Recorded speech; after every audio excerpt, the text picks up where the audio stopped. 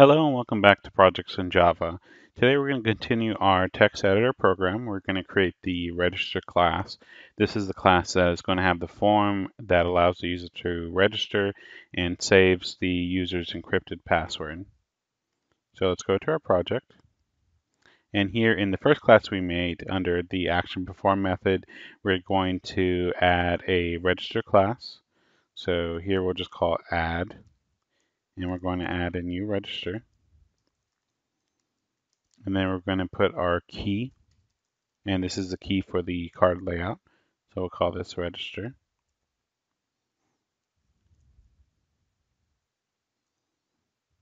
And now we want to show the register class. So that's going to be cl.show, and the parent is going to be this, and the key that we're using is register. Now let's create that class.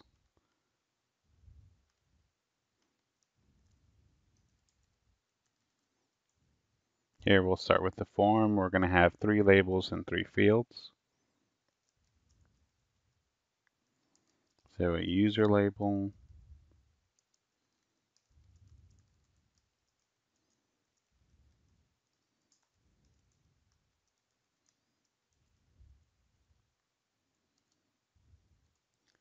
then a user text field,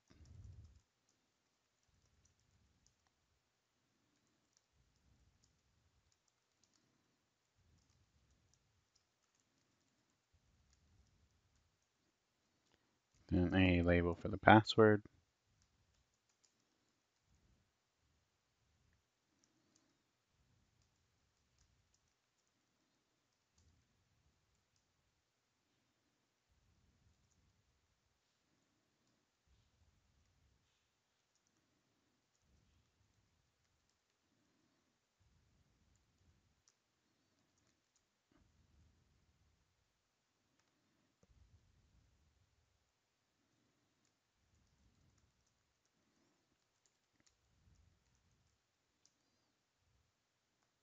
and a password field for that also.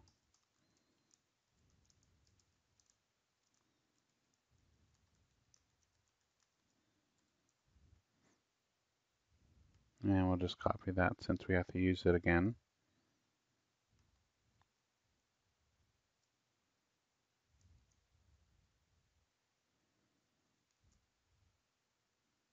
And the second one that we're using is going to be to confirm the password. We'll do our imports.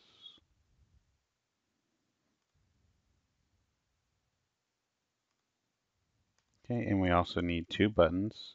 One to complete the registration. Call this register.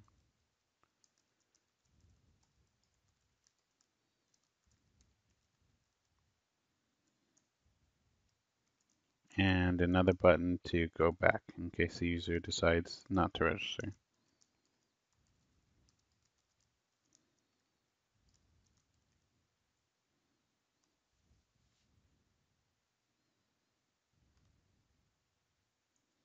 Now let's create our default constructor.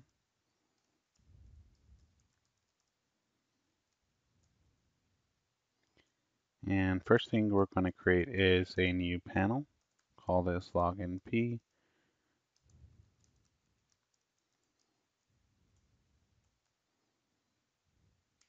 And we're creating this so that we can have a grid layout. So we'll set the layout to a new grid layout. And it's going to be 4 by 2.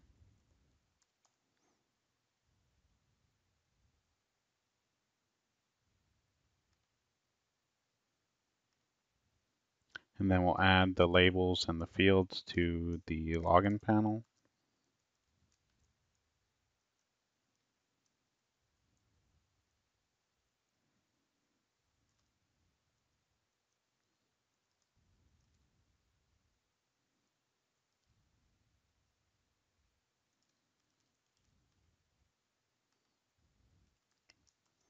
So user L, user TF,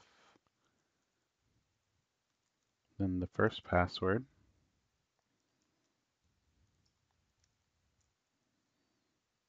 and the confirmation.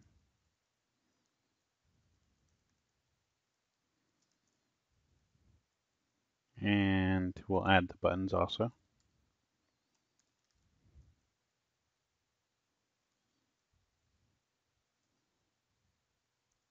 And then add this grid layout panel to the current panel. And here we need to extend JPanel and implement action listener.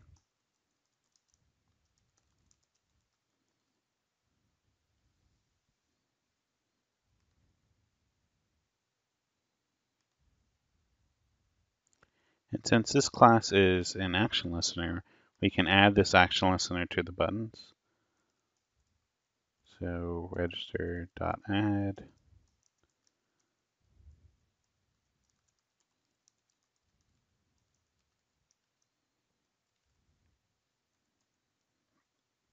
and the same thing for the back button.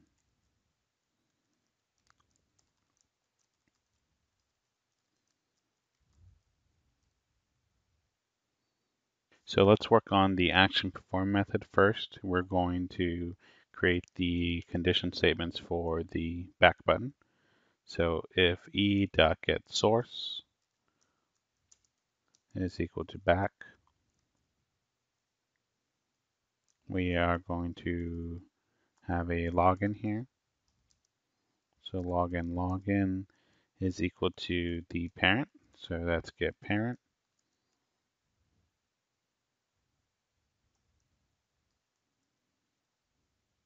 So now that we have the parent, we can call login.cl.show. We're going to use login as a parent. And the key we're going to use is login.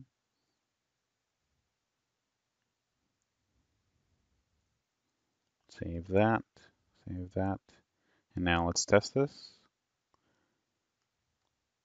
We click on register and here's our registration form. Let's click on back and we go back to the login form.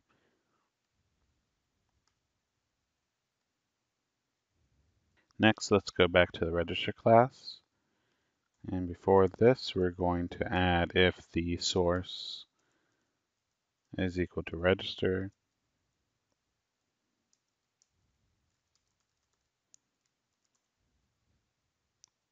And so here we need to first check some things. So to make sure that the user filled out the form and that the passwords match. First, we can add some condition statements to this. So and pass tf dot get password dot length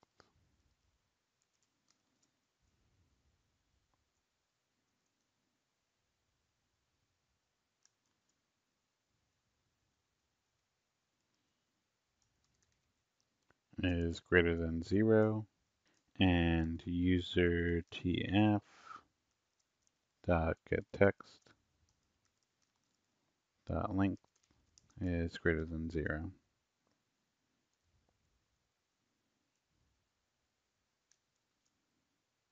And so next in here, we'll get the password. So string pass is equal to new string. And we'll get pass tf dot get password. And then we'll also get the confirmation password. And we'll call this confirm. And we'll get that from pass C. Next, we'll have an if statement. So if pass dot equals confirm.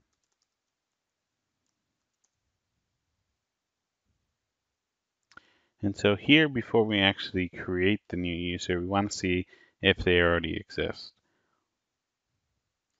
So first, we're going to have a buffered reader.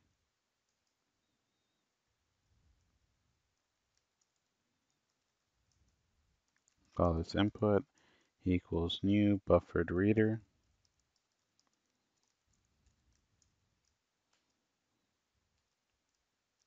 And we'll pass that new file reader.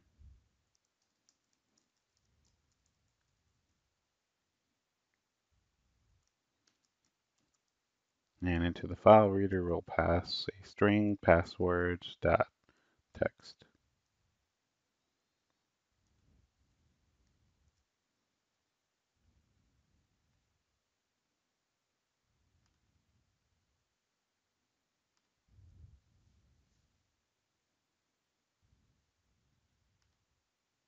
And so now that we have our buffered reader, we're going to read line by line. So string line is equal to input dot read line.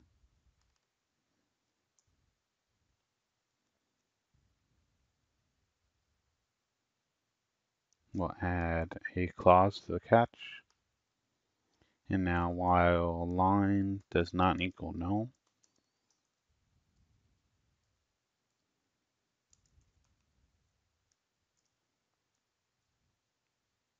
we'll have a string tokenizer.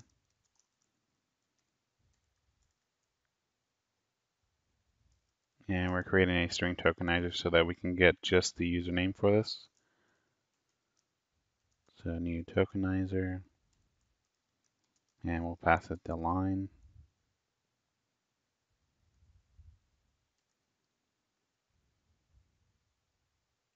And next we'll see if the user input is matching the user that we read right now. So user tf.getText dot equals and we're going to use st.nextToken. So that'll be the first token. And if it does equal, we're going to print out user already exists.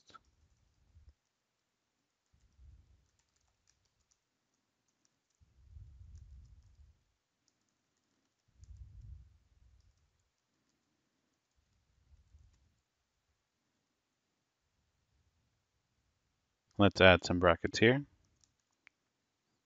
And since the user already exists, we can break. And if it doesn't exist, we'll read the next line until there are no lines to be read.